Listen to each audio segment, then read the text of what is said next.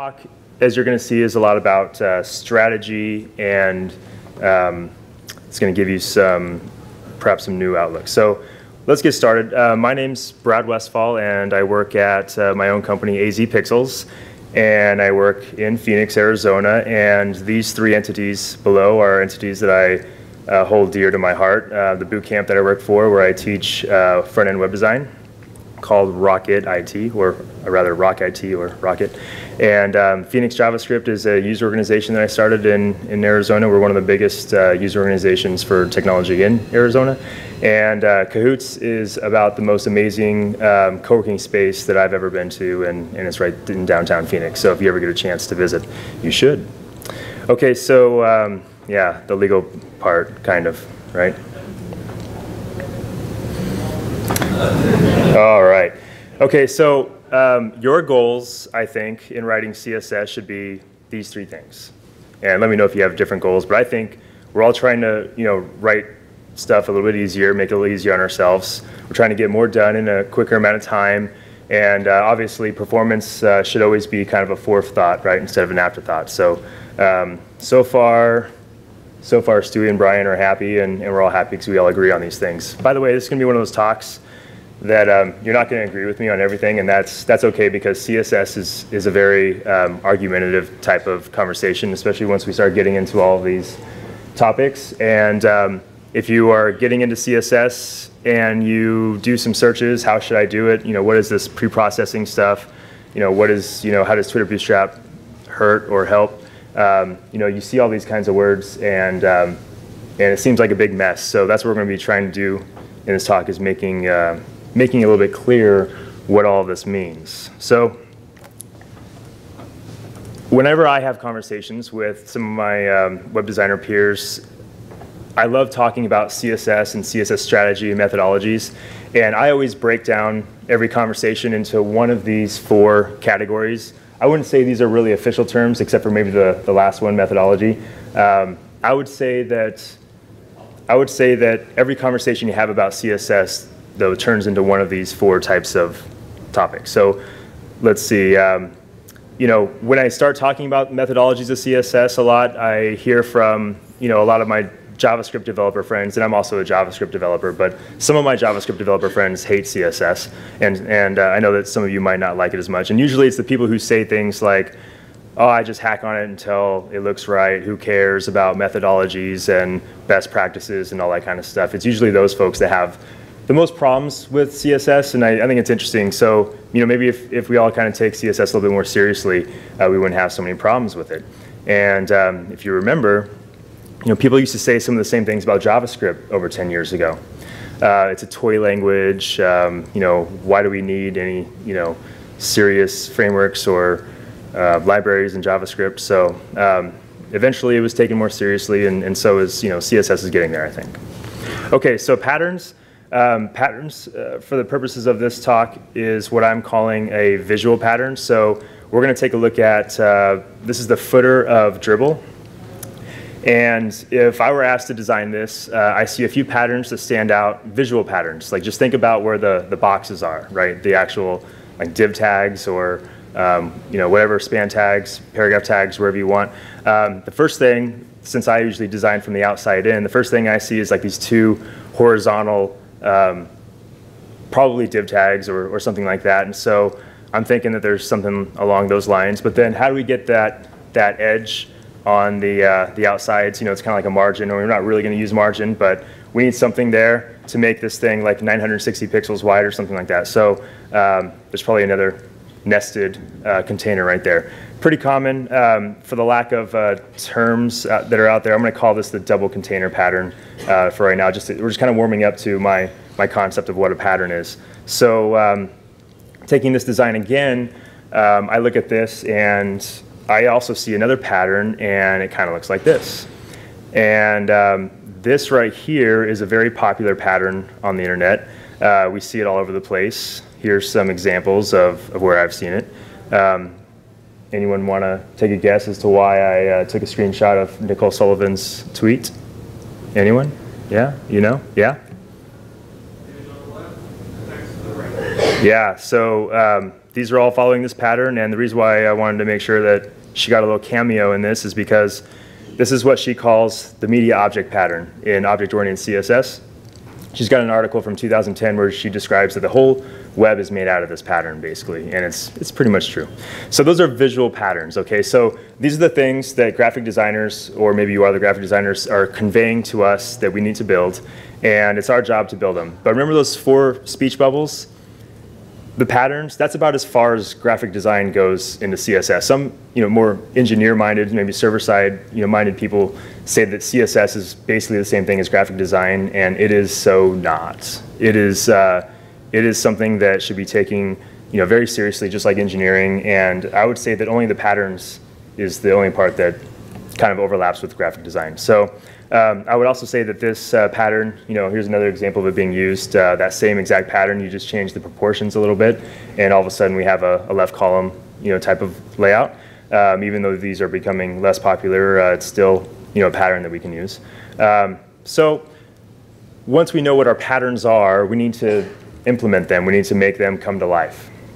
So implementation is essentially where we pull off these design patterns.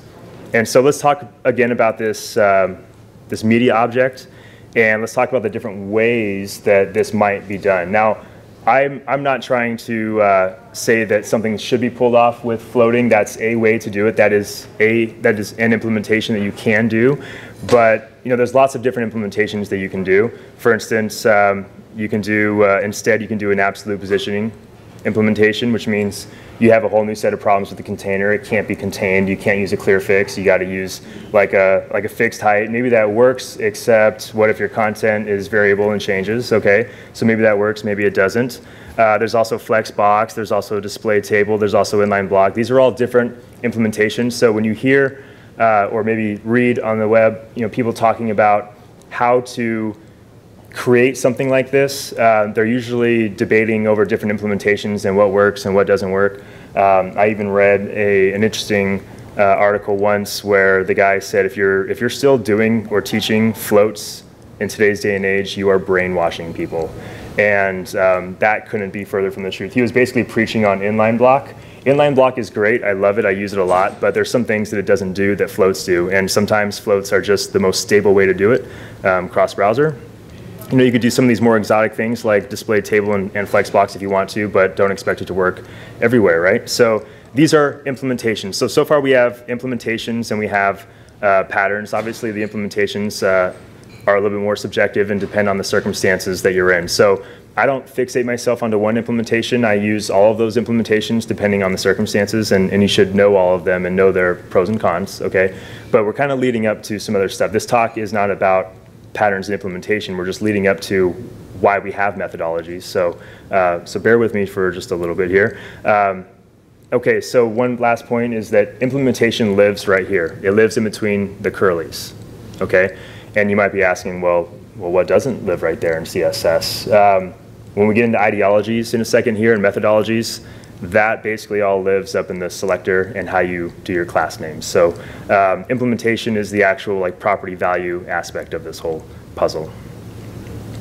Okay, so uh, for those of you who are more experienced, let me ask you this. If you were to take uh, that media object pattern and if you were to take two experienced CSS developers and ask them to both implement it using the float type of uh, strategy, would they do it the same way? I would argue that they would come up with completely different solutions, even though they're both doing accomplish, accomplishing the same pattern using float and a certain clear fix or whatever. Um, they would accomplish this a completely different way from each other. I would argue that five CSS developers would do it five completely different ways because there are so many different mixes of ideologies. So um, let's talk about why ideologies uh, come into play. And you can see here that, you know, Stewie has like two, you know, forms. Uh, there's kind of the semantics crowd and the uh, utility classes crowd. And so we're going to talk about what that means. So a lead up to ideologies, um, in case you're not familiar with these terms, uh, wet stands for write everything twice. Dry stands for don't repeat yourself. These are terms that we use in CSS a lot, especially in the last two years. I've seen them popped up a lot. But uh, if you come from database design, uh, you would call uh, what we call dry, you would call normalization. Okay, um, so you know, these, this dry versus wet concept can be, um, it can be applied to more areas in the computer sciences than just CSS, but it tends to be used a lot lately in CSS. So the idea here is that we want stuff to be dry because we're not repeating ourselves, which means if we need to make changes, we have to make them in less places. There's less chance that we're going to forget to make it in one of the places if it's dry. And also, uh, we can reduce bloat, okay? And usually bloat uh, decreasing means that our, our bandwidth and download sizes decrease. Okay, so let's take a look at uh, Twitter. This is the, the brand new design that just rolled out a few weeks ago. Take a look at the, the white boxes, the one that's, there's three of them, the big ones that are like tweets, and then there's who to follow, and then there's the trends. And if I reduce this, it kind of looks like this. Now I want you to imagine that you were designing this in CSS, like this is your, this is your task. And, uh, you know, this isn't so much a matter of implementation, what properties you're going to use, that's pretty straightforward. It's going to be, you know, things like background color and border radius and, and you know, border of one pixel solid, whatever, how you, however you want to do this. Um, that's pretty straightforward. But if we have these these uh, div tags, let's say they are, and one of them is tweets, and one of them is follow, and one of them is trends, how do we do this? So um, this is an example of what I mean by wet. Uh, this is write everything twice. In the black on the left, you see um, the background color and the border radius and the, um, the border of, of one pixel um, being repeated three times. And if there were 15 more boxes and you went to this strategy, it would be very wet. You would be repeating it all kinds of times. Imagine how big your CSS file could get over time with this type of strategy, and imagine uh, imagine your boss comes along and says, "I want the border radius to be two pixels now, or 10 pixels." Uh, you know the the amount of times you would have to change and search for that, and imagine it'd be very easy to forget. Um, so anyways, uh, moving forward, we have dry CSS. This is kind of like moving forward with someone's you know basic CSS career. They abstract something into a class. Um, in this case, box. Notice that the three div tags still retain their original classes because we need to, might need to individually stylize those at some point. But this is this is an abstraction technique. So this is a version of doing dry CSS, not one that everyone agrees with. But I think everyone agrees that we need dry CSS. Like that's a goal. But uh, this is one implementation of doing dry CSS, okay? So um, this is where ideologies start to kick in. Ideologies uh, typically describe your willingness um, to separate concerns. I mean, we all hear those things. I've heard that 10 times today by other speakers, separation of concerns, whether it's JavaScript from CSS or now CSS from HTML or this, that, and the other thing. Um, people either have a stronger uh, a, a, stronger willingness to really truly separate them. And uh, those people like to um, make class names that reflect the meaning of their content. You're going to see what that means here in a second, and not the aesthetics and structure. And a weak separation is the people that say, who cares? Uh, class names can reflect aesthetics and structure. It makes my life easier. Anyone have an idea of what you are right now? Because I would argue that you're one of these ideologies whether you know it or not. Does someone not know what you are? Who doesn't know what they are and uses Twitter Bootstrap? okay, another question. Who uses Twitter Bootstrap? Do you guys know that you're number two? Okay. All right, that's fine. Not making any judgments yet, but let's move on. Okay. So, um, class name should reflect the meaning and the content. We sometimes call this crowd of people the semantic crowd and class names should reflect the aesthetics and structure. Um, there's not really a name for this crowd except for they're like the non-semantic crowd maybe, but we'll call, they use what I call utility classes and some other people call these utility classes. We'll get to that in a few minutes, but for this purposes of this talk, we'll call this the utility class crowd, the Twitter Bootstrap folks versus the semantic crowd. And by the way, um, semantics, um, CSS semantics, just to go on a little bit of a, of a tangent, I don't want to go too far on in this direction, but does anyone does anyone know where I'm going with this before I even say anything? Like, um, there's really no such thing as CSS semantics. Okay, um, if you haven't heard that yet, you're hearing it now, and um, you can read lots of articles about it. Um, there is such a thing as HTML semantics, you know, going from div tags to like footer tags and aside tags. That's that's all good. That's for devices and stuff, but um, devices don't read your class names and they don't care. The class names are just there for us to hook into. Truth be told, um, big blue heading, is that semantic?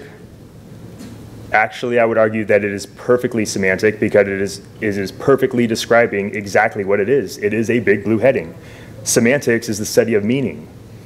Okay, if we were talking about HTML here and I said is a, is a footer tag semantic, you would say yes, because it's describing a footer.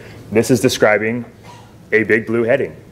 Now, I wouldn't say that it's good uh, naming conventions because if we want to change big blue heading to big orange heading at some point in time and maybe make it a smaller text, then it's not a good strategy.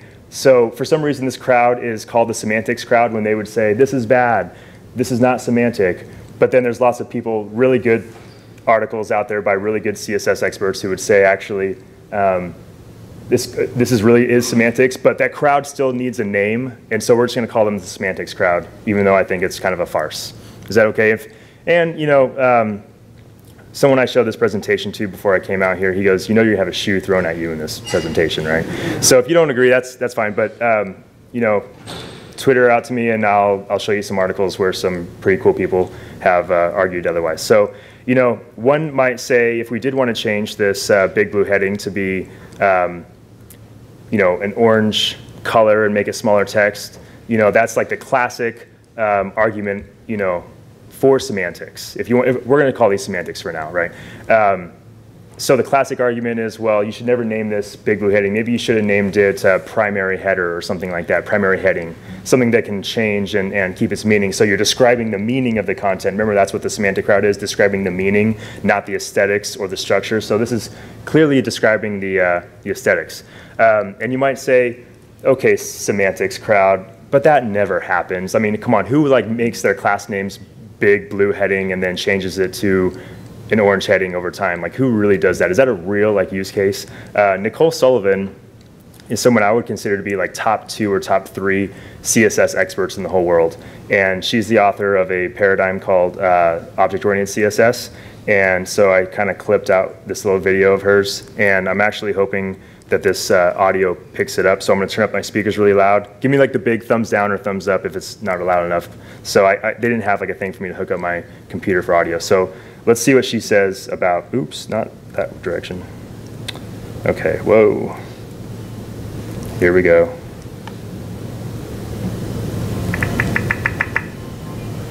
If it even loads, right, with the internet.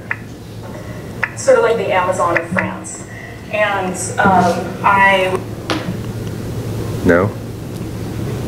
I was working with them, and I was super happy with my CSS. I had these awesome very clear selectors, very clear what they did. They were like, you know, big blue heading and tiny purple heading and that kind of thing.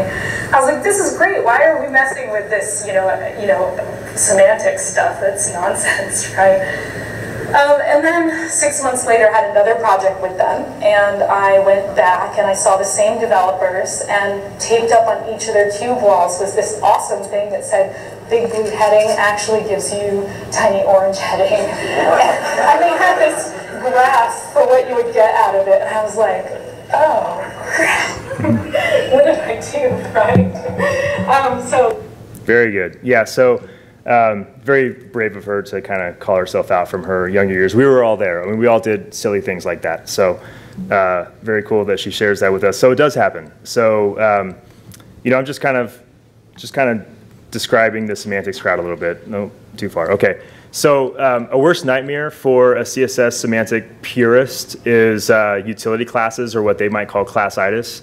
Um, you've probably heard of divitis. So classitis is like a term where someone kind of overuses classes uh, for the wrong reasons. Uh, by the way, semantic people are not against using class names. Sometimes that's like at the end of a presentation, they're like, so you guys don't like class names or what's the deal? No, we, we like class names, um, but you know, they can be misused. So um, so what am I describing here with this first div tag, right? I'm basically describing what half of you raised your hands on, right? Twitter Bootstrap. That's just like their, their way. Um, so I'm, I would not say I'm a CSS uh, semantics purist, but I do I do kind of subscribe to some of their ideas, and um, I'm just letting you know this is like their worst nightmares doing this sort of stuff, and we're going to talk about why. Or like grid systems, again, how. I mean, you you really you got to understand you really can't say that you agree with like the semantics paradigm and you also use Twitter Bootstrap or grid systems because they just don't mix. I mean, if you're using a grid system, you're basically describing your structure through class name and that's you know, that's a way to do it. That's fine, except just understand that you are falling into one of these two camps. Okay.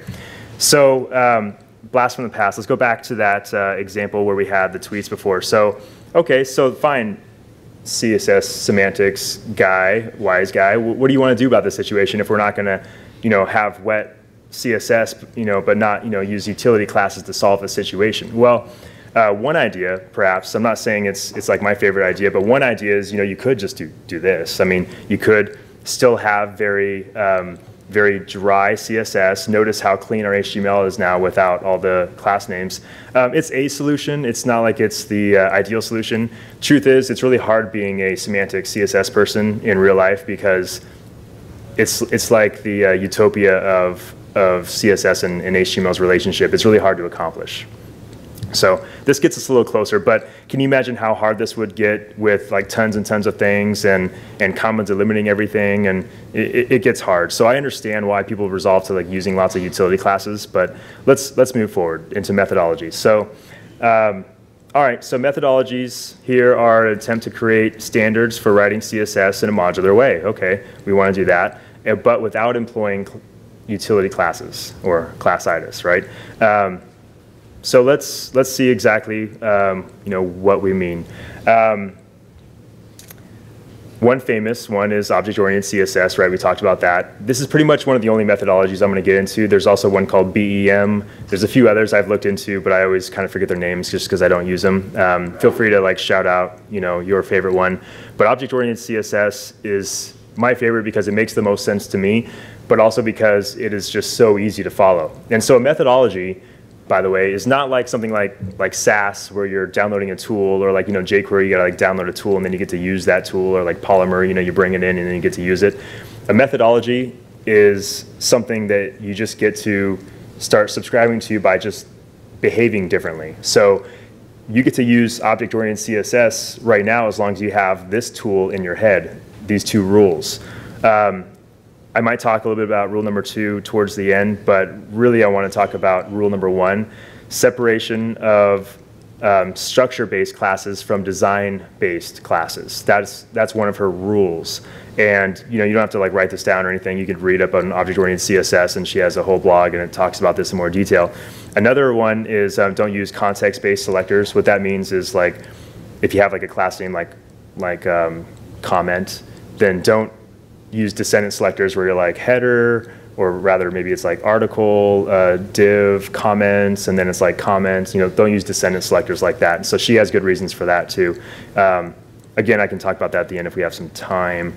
Uh, all right, so by the way, I'm the kind of presenter where you're going to have to probably tell me like how much time is left because I'll just keep going as long as there's questions or looks like you're interested and not yawning. So, all right. Um, so let's talk about this whole rule number one, separating the structure classes from the design classes. Now, I'm not going to write any actual CSS up here for you, like on the right-hand side, because if I were to write actual CSS, that means I would be doing um, the implementation, right? The stuff that goes in between the curlies.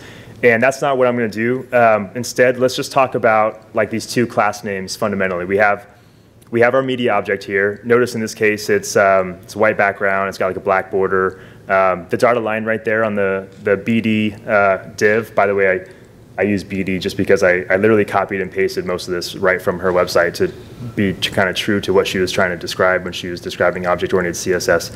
So um, BD in her case, she says uh, stands for body, like the body of this this little guy right here. So I just did the dotted outline just so you can see where it goes. Um, okay, so notice that we have the media class and the comment class. Now, this is not an example of using utility classes because if there were utility classes, you would see like rounded corners and pull left and that sort of thing, the kind of stuff you see from Twitter Bootstrap. Instead, what you're seeing is the media class does things like the dimensions, the width and the height, and the choice of implementation. So in this case, maybe it's the float strategy or maybe it's the you know, display inline block strategy or, or whatever, but the point is it's just doing the structure. And then the class name of comment is doing the aesthetics. Okay, so it's doing the background color of white and the border radius in this case. Okay, so you bring in those two uh, class names, and what this allows you to do is you can use this media object. Remember how she shows that the media object, for instance, is something that you can use for all kinds of different stuff? Well, what if we wanted to have comments at the bottom of some page, but we also want to have uh, products on like the same page or something, right? Um, you could have this be a product. You could have the image be the product picture. You can have the content of the product on the right-hand side. You would only need to then make a class called product, like this, and the media class still creates all the structure for you. So this is what she meant by object-oriented CSS. There's really no such thing as object orientation in CSS. Um, I think she picked object-oriented CSS because uh, it's, it's catchy, it sells books and that sort of thing. Um, it obviously picked up and we all know about it, but um, maybe a, a, really good description would have been um, pattern-oriented CSS or modular-oriented CSS. So the idea here is we now have that media class. It hasn't changed. It still sets up the dimensions and the choice of implementation, okay? And then we have the product class, and, um, and that sets up a new design. It has a different background color. Notice that it still implements the border radius. Okay, so is this you know, a wet strategy or a dry strategy?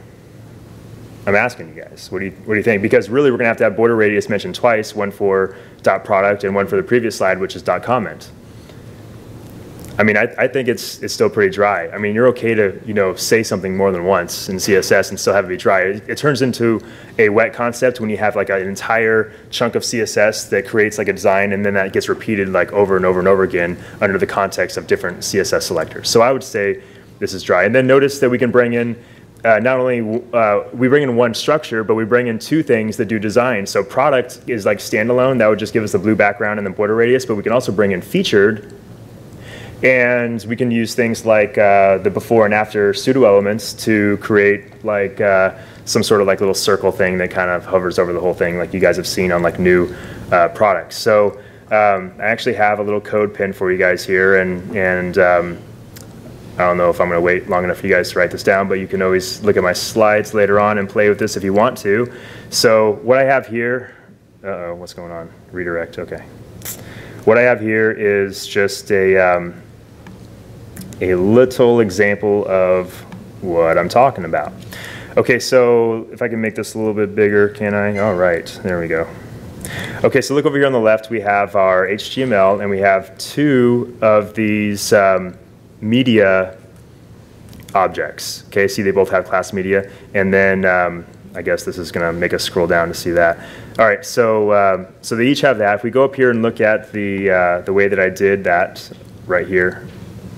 Okay, so we have media, we have a width of 500 pixels, padding of 10 pixels. Okay, so we can kind of see the gap right there display inline block, margin left, okay. So then the media describes what the image looks like and what the, uh, the body looks like. Okay, so that's all it does. Notice that there's no aesthetics in there, it's just simply structure. And then coming down, we have comment, and comment has background colors, border radiuses, um, it can still like describe the image, in this case makes it a different color blue, and uh, does something slightly different with the, uh, the body. So um, that's basically what you're looking at here with, the, um, with this guy right here.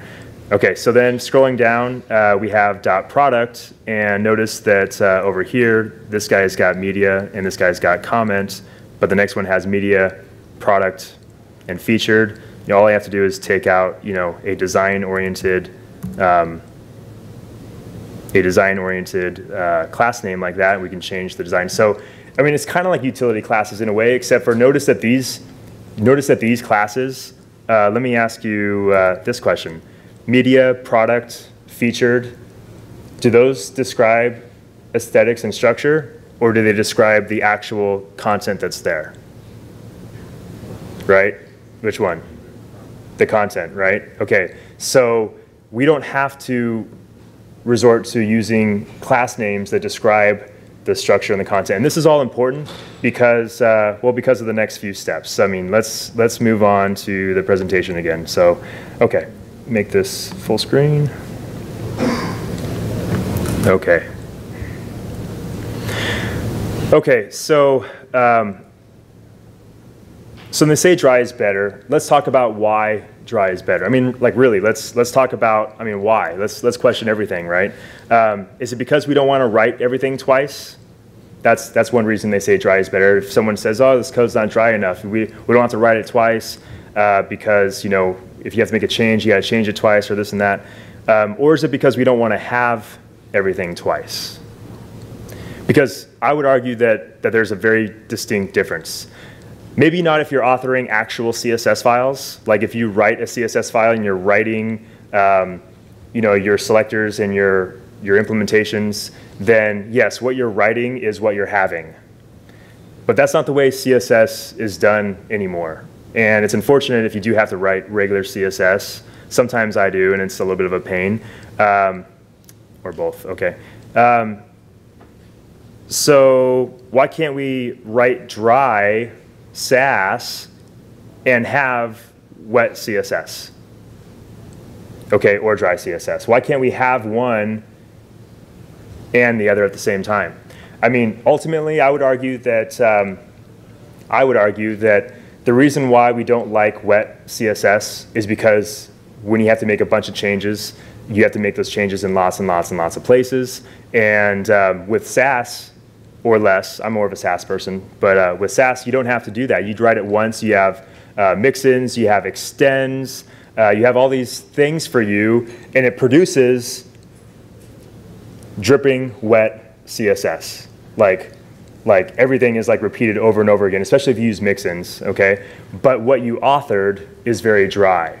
So, you know, the only counter argument to this argument that I can think of is, well, your CSS that you're producing is extra big and it's going to take a long time to, to download. You know, I'd say get rid of that little tiny dumb graphic that you have that's that big and take that size, you know, the size of that graphic is essentially the size of how much CSS you just accumulated. Yes? Also gzip.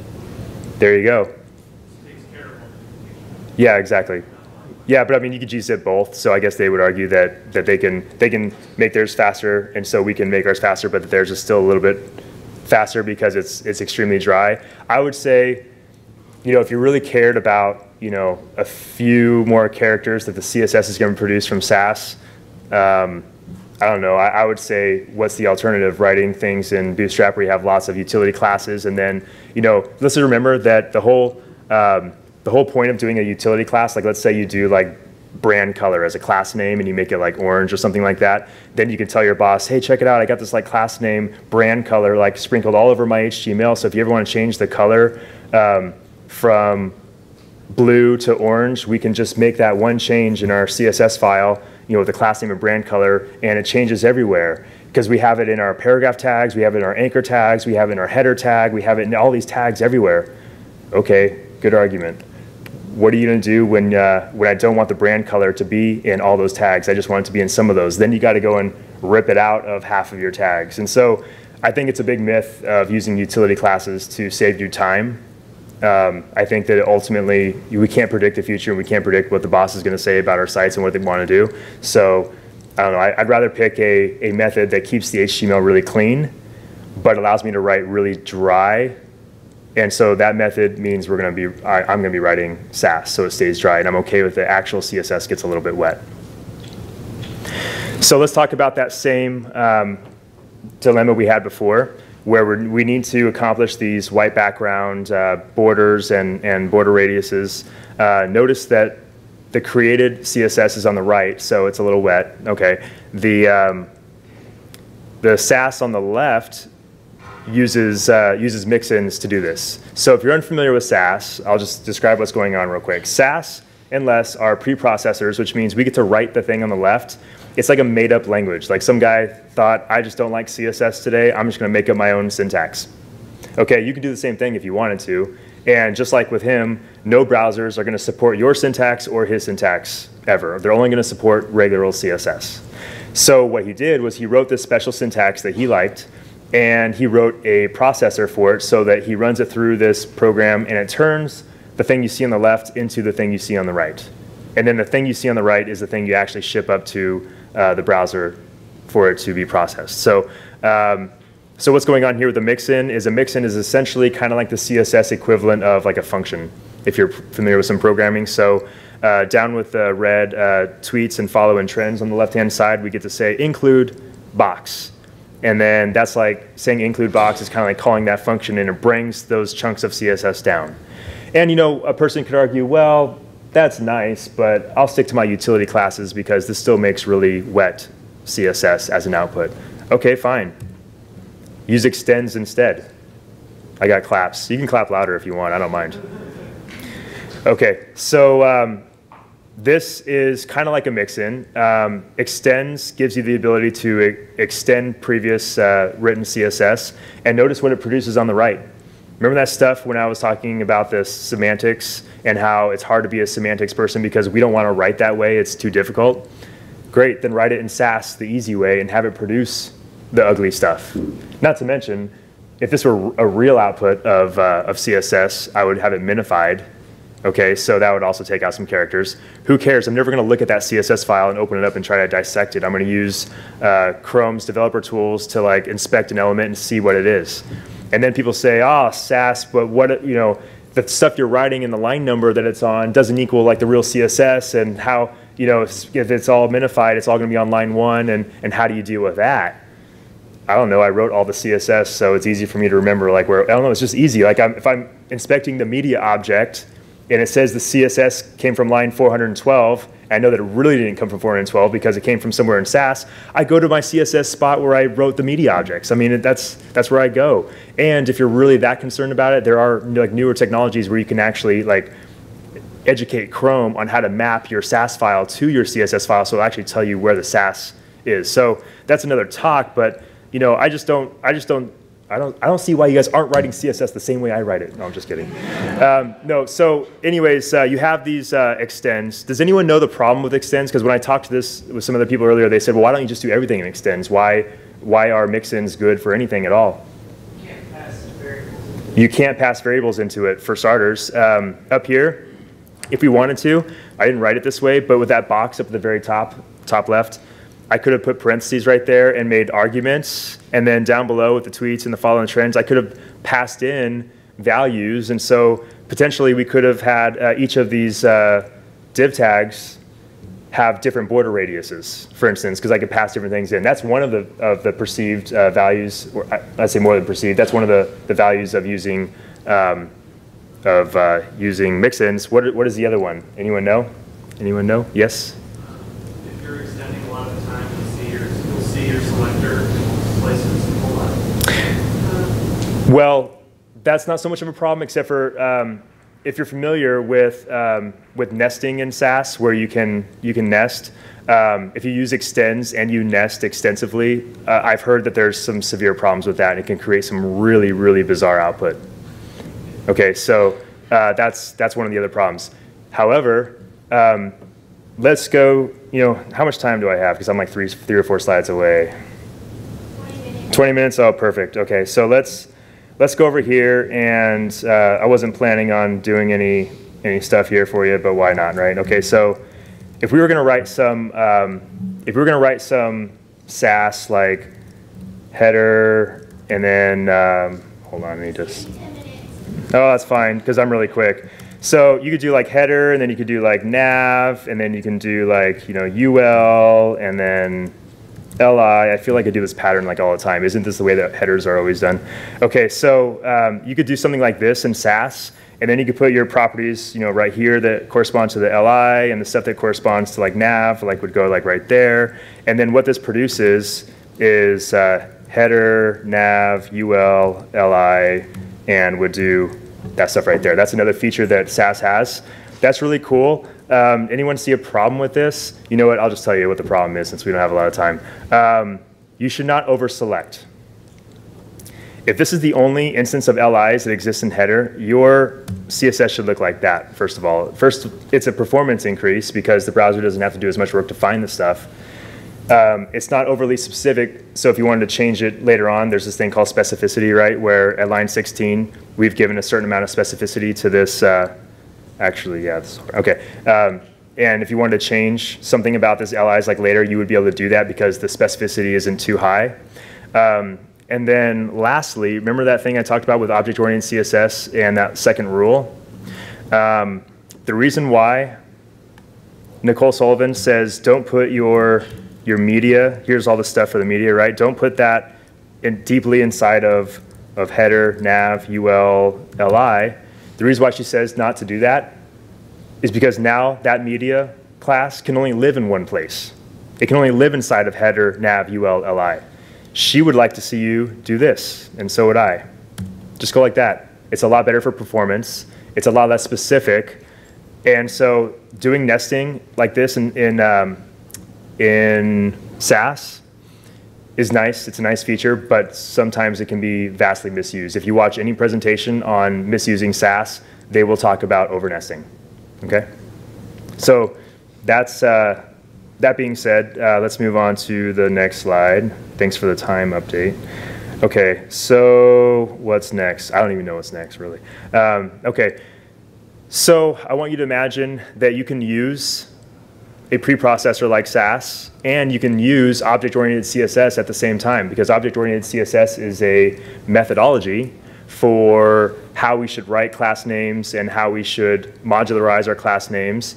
And Sass, like Less, is a preprocessor for building our CSS, so they, they're totally complementary. They're not uh, opposing each other. Um, they can be used with each other. So I want you to imagine that maybe this is like the future of object-oriented CSS, where I don't exactly have a class name called media and then a class name called comment, or, or instead of co comments having a class name called product, and then if it's product, then maybe I'll have a class name called feature. Maybe, maybe this is a way to do it where the media um, class brings in by way of uh, mixins the media information and the product information, the featured information. This would produce really uh, wet or yeah, really wet CSS output. But you know, this is just an idea. I just want to you know put some ideas in your head. So um, so anyway, um, last slide. Um, we know that this is wrong, right? I mean, this reminds me of like when I was doing FrontPage in in uh, 1998, right? We know that this is wrong, right? So can someone please explain to me why this is any better? Like what is the freaking difference here really? I mean, it's a little bit better, a little bit, but I really don't see why. So it's not that I, I hate Twitter Bootstrap. It's it's good, nice for prototyping and stuff, and there are others like it, Foundation and whatnot. Um, but all these libraries that just give you a slew of class names and then you kind of sprinkle them all over your HTML like like candy and, and produce some design. Um, you know, you can you can get yourself into some some troubles with that. So, anyways. Um, like I said, I can go on forever about this topic. It's my favorite topic to talk about in computer sciences, but I'm pretty much done. Let's, uh, let's all either go home or do the after party, okay? Thank you very much.